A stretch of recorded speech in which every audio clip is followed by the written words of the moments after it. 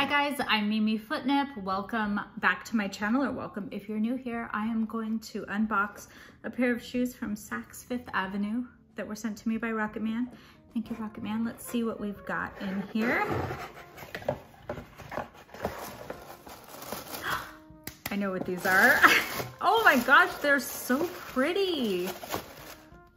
Look at that. Oh, these are so nice. So if you remember from, I don't know, several weeks ago, a couple, few weeks ago, I unboxed a whole bunch of this same shoe in different colors.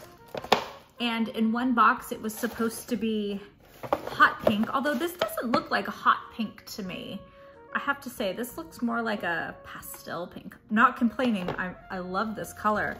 Um, but I'm just, it's just commentary on Saks because I opened a box that had this exact same label and inside were a pair of Valentino flats, which was shocking to me. I just kind of completely blew my mind because I was not expecting that.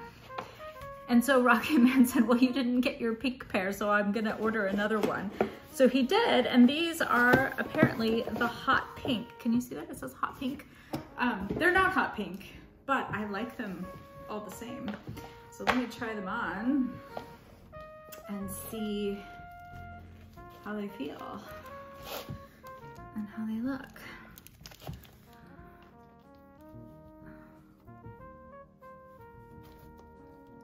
I like these um, soft, kind of puffy, twisty straps. These are leather, and you can really feel the quality of, of leather. Now it feels like I'm stepping on something funny. That's the label. Let me peel that off.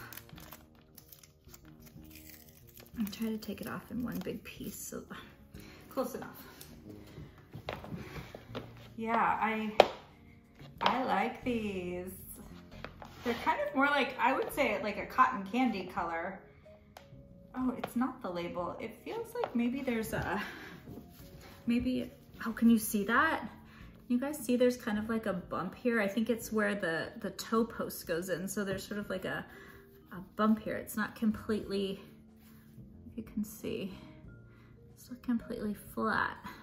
I thought it was the label, but when I peeled the label off, it still has that kind of um, like a like I'm stepping on something, you know, like there's something under my foot there.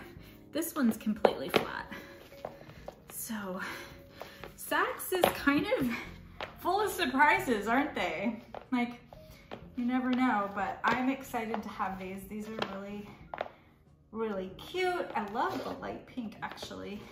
Um, yeah, I like the way these look. Let me know what you think. What do you guys think? Do you like them? Do you think you would have liked them more if they had actually been hot pink? I actually think I might like this color better. I really like it with my pedicure, actually. Yay! Thank you, Rocket Man, for completing my collection. I'm super excited.